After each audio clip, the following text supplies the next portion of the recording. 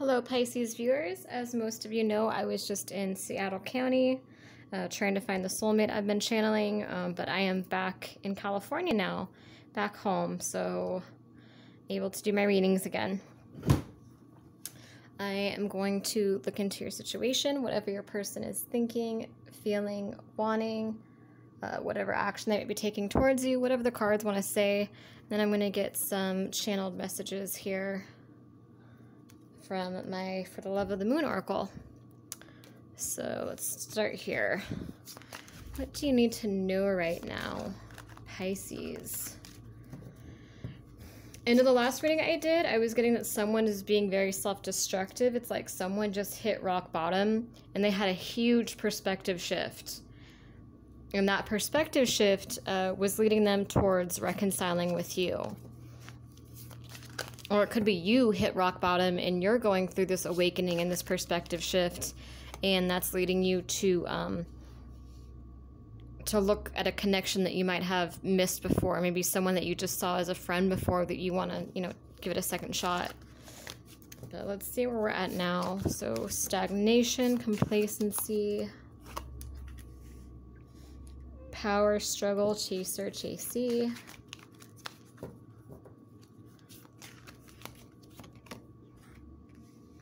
soulmate, past life connection, soul contract, nostalgia, longing.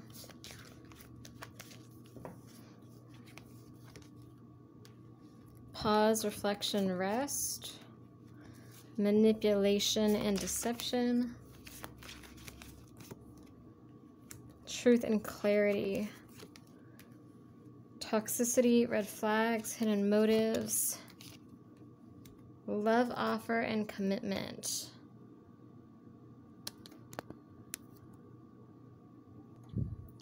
I think this is just a quick message for a few of you that there might be someone toxic that's trying to come back around and I'm just going to do this spread really quickly and then get into the um the main reading here.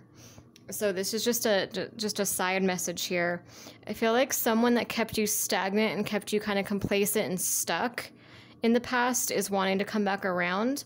There is a soul contract here that you need to get to the root of, a soul contract that you may, might need to end or you need to address it.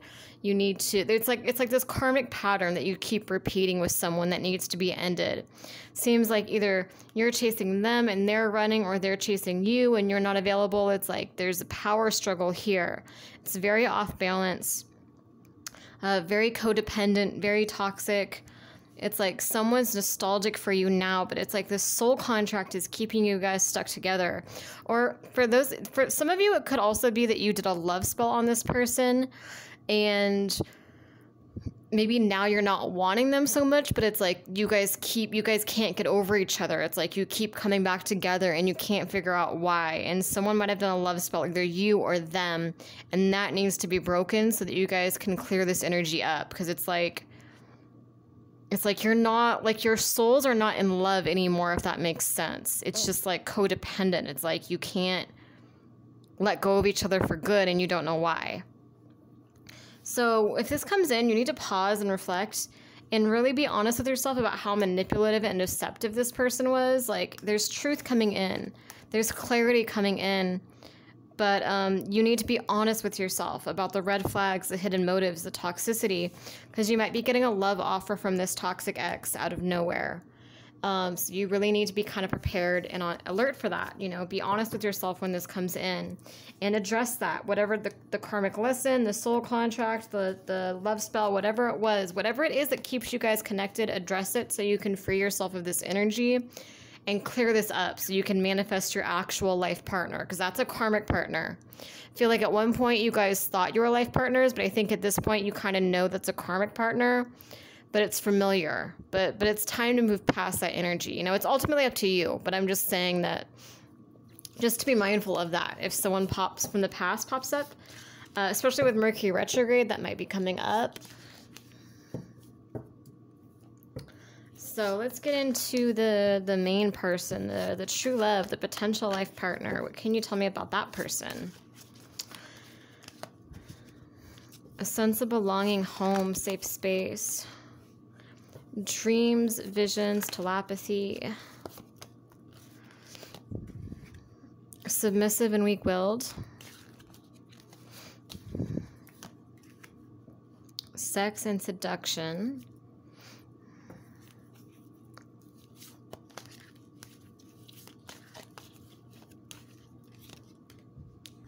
Spying.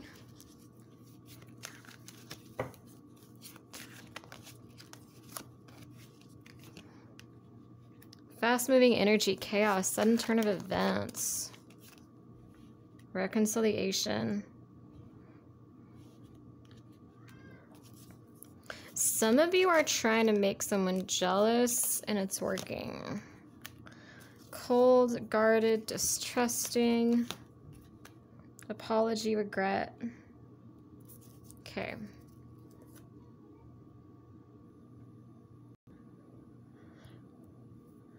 I feel like things are really shifting in your favor with this connection. I feel like they took you for granted a little bit. Like they didn't like take take you for granted too much, but there was a little bit of that there where it's like they felt like you were their person. They did feel at home with you. They did feel safe. They did feel comfortable with you. But they just kind of figured like, you know, you guys were meant for each other. They'd be able to do what they need to do and they could come back and you'd be there. You know, it's like they they just they just took it for granted to some degree. And it feels like now there isn't a whole lot going on with this connection, but it feels like it's going to move in very quickly. Because you have dreams, visions, telepathy here. So it kind of feels like there's a lot going on in the 5D. Like there's a lot going on with this connection um, psychically. Like you guys are picking up on each other's energies.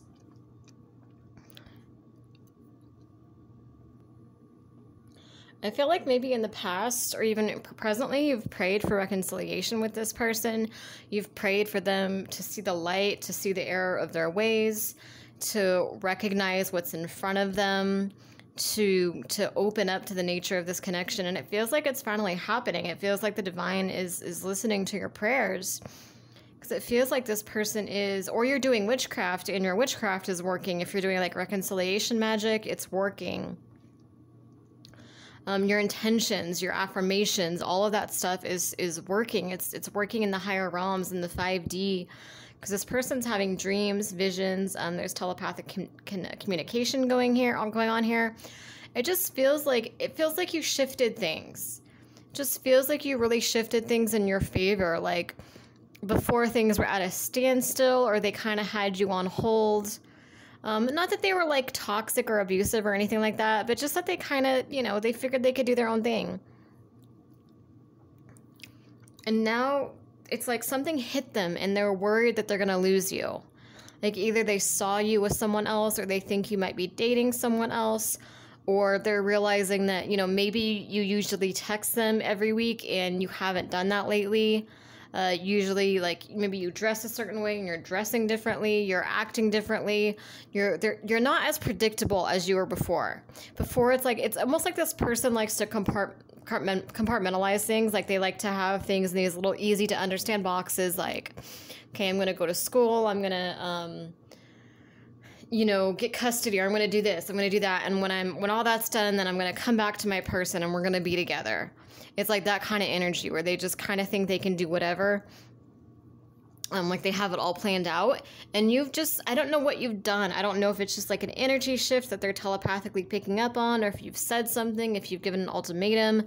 But there's some kind of energy here where it's like, they don't feel like you're as predictable as you were in the past. They don't feel like you're definitely a part of that plan like you were before. Like they want you to be, but they just feel like it's not like they tried to control it and have everything planned out just the way they wanted it, you know? And you're kind of like, no, screw that. I'm not going to wait another six months, another year, another two years, however long for you to get your crap together. Like you need to figure it out now. Like you're, you're not going to put your life on hold anymore. And they can feel that energy. So keep doing what you've been doing because it is working because it's like they're submissive. They're you know weak-willed submissive. Like they're see this energy? See this person that's see how they're giving in? They're giving in to the dreams to the visions to the romance to the telepathic um, energy to the um, you know the seductive energy. See how she's kind of like he or she is kind of looking away kind of you know open but but kind of not not like playing hard to get but just not as available as you might have been in the past. You know it's like a very seductive kind of siren type energy here. And it's almost like this person was really focused on work or they were really focused yeah like really focused on their career or on money or getting their life together or doing this and that. And they just like i said they thought they could plan it all out. Like you know in six months i'll come back to you you know once i'm ready we'll be together. Like they just figured you would just wait. And now they're like oh my god what if what if they don't wait? Like something shifted you know and now they're spying on you because we got fast moving energy here. And they they're having to spy now. So it's like chaos sudden turn of events like a tower moment. Something shook them up and made them think oh my god i might be losing my person. Um, and you know like i said the last reading i did i was getting that they were self-destructive. They hit rock bottom they had a huge perspective shift. So maybe when they were in the like for some of them they might have been in this toxic energy before where they kind of took you for granted or blamed you for things and now that they have this new perspective they're kind of realizing how lucky they were to have you and how supportive and loving you were through their darkest times and they're like oh my god like why did I not see this sooner? Why did I not realize this sooner? Like they're having these epiphanies um, so they're gonna. It seems like they're gonna move quickly to try to reconcile with you. Um, and you're like I said, your energy is like you're not even. I don't think you're even sure about this anymore. I don't even know if this. I don't. I don't even know if this is you just playing hard to get. I think for some of you, you're actually kind of like, eh, I don't know about this. Like, you know, I wanted you so much before, but you're you t- you've taken so long. Like, you've taken so long to get things together to see what you had with me so a lot of you, it's like you're gonna have this love offer coming in, but you're gonna be kind of cold and guarded and kind of distrusting and kind of uh, questioning it, you know. And that's honestly gonna make this person try even harder because they're they're gonna they're gonna want you back, and they're gonna give you this apology, this regret. You know, they regret not seeing the truth sooner. And if this is your story and you want a private paid private reading, just send me an email. My email is right below in the description box. It is Dragon Enchantress at AOL.com. Um, but yeah, you can just copy and paste it right from the, the um, description box below. Any donations are appreciated. They a lot of them are probably going to be going towards my trip in, to Washington in July to try to look for my soulmate again. Okay, new love, fated encounter. And please uh, subscribe if it resonates. Isolation, loneliness, emptiness, intention. Yeah, a lot of you are using magic or using intention, um, you know, power, manifestation to make this happen. Yeah, willpower, strength, confidence. Like, you guys are really stepping into your power.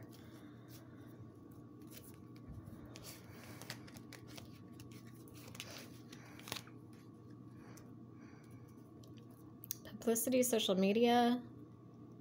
I feel like someone's going to get left out on the cold here. Because you might, I feel like you've been focusing on manifesting this specific person back. And they, they're not a bad person. I don't feel like they're a bad person. I'm not getting a bad energy from them. I'm just kind of feeling like they just put you on hold for too long. They just, they're a little bit overly logical and kind of controlling about things. And they're just the type of person that likes to have everything planned out. Like, they can't be too spontaneous. They just they want to know, you know, someone that needs step by step directions every part of the way. Like they they they need that control. It's someone that kind of gets afraid almost if they don't have a, a strong sense on where their life is going. You know, it's it's not the type of person that could just go with the flow. But yeah, like I said, now your energy is kind of unpredictable, so it's almost like it scares them a little bit. It's like they don't know if they still have you. Um, and I am getting that like they're going to have this epiphany or they've had this epiphany already for some of you.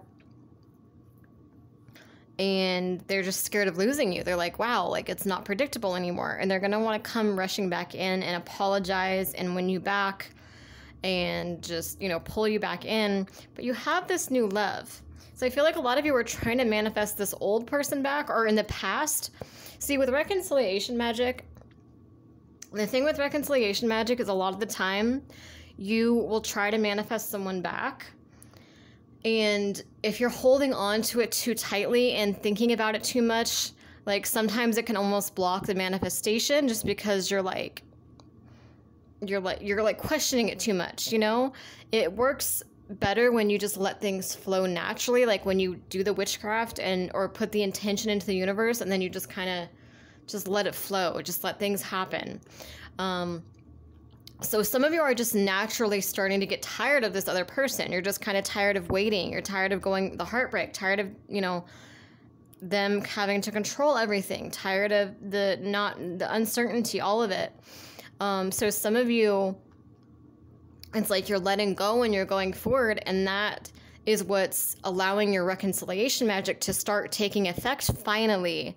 It's like all that magic was building up for months or even, you know, maybe even longer for some of you. Um, but you were holding on to it. So it's almost like you were like blocking it, but now you're starting to let go. So it's all coming in at once. Um, so not only are you manifesting the old person back that you were trying to manifest, but you're also manifesting someone new that's either just come in or coming in and someone's going to get left, left out in the cold. Probably the old person, to be honest. You're probably not going to want what you originally thought you wanted. It's a really interesting energy. But yeah, your your intentions, your reconciliation, your intentions for love, for reconciliation, they're all coming in quick. Yes, someone's afraid of rejection. They know that their happiness is with you, but like I just feel like someone's jealous. Like someone knows that you have other options. They want to come like pull you back in again. They're sad, they're upset, they're they're desperate to pull you back in, but it might be too late. You might be ending this pattern with them. You might be breaking through and choosing new love instead for a lot of you. So um yeah, like I said, if this is your reading and you want a paid private reading, just send me an email. Um, any donations are appreciated. And please subscribe if it resonates. So get a few more messages here. You come off uninterested and detached. Yeah, you're you're not eating out of the palm of their hand anymore. Your energy draws me in. You're mesmerizing. You're beautiful inside and out. You have multiple potential partners. Your energy is magnetic. Yeah, you're manifesting you're manifesting love right now for sure. Sometimes I cry over you. So this person's getting very frustrated over you because they know, they can feel, even if you haven't said anything, they can still feel energetically that you're moving on from this. I looked for love in all the wrong places. Might still be too little too late though. I'm working hard to remove all the obstacles that have been keeping us apart. I had a huge epiphany. Yeah, lots of epiphanies for this group. I regret letting you go. I never should have left. I'm going through a rebirthing process, a psychic awakening. All right. Well, thank you guys for watching.